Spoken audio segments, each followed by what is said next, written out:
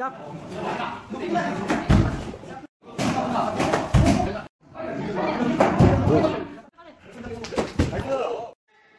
이 대회에서까지 좋은 성적을 거두면 네. 진짜 다 재능한 이제 선수로 거듭나는 겁니다. 그렇죠. 나는 이제 겨루기 선수가 아니다. 나는 네. 그냥 태권도 그 자체 네. 조원용이다. 네. 보여줘야 됩니다.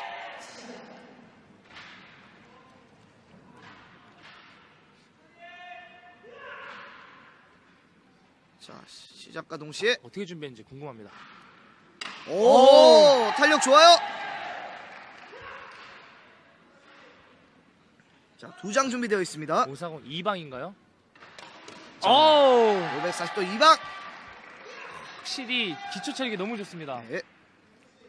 자, 돌려차기 돌려차 3단계. 하나, 둘, 셋. 어. 가벼워요, 가벼워. 또 시범발과 겨루기 발이 다른데 잘해요. 아. 깔끔해, 깔끔해. 자,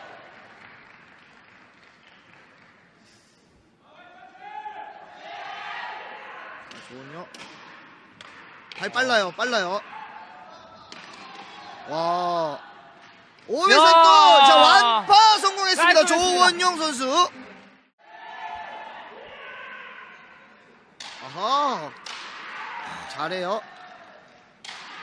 자 위력 격파 시작. 어 뭔가요? 오호 이어가서 아 야! 뒤차기까지.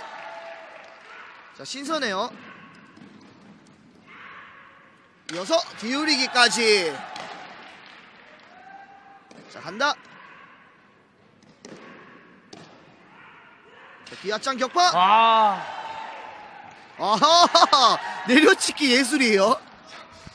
자 마지막 지금 대리석 준비되어 있습니다. 와. 자 높은 점수 기대해 보도록 하겠습니다. 어떻게 훈련을 시킨 건지 겨루기 선수가 저런 퍼포먼스 나온다는 게 그렇죠, 그렇죠. 쉽지가 않은데 아 정말 마스터즈 대회는요 얼마만큼 준비했느냐가 굉장히 중요해요.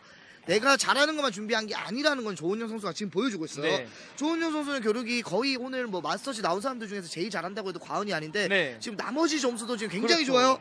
자 조원 조원영 선수 지금 점수 기다리고 있습니다.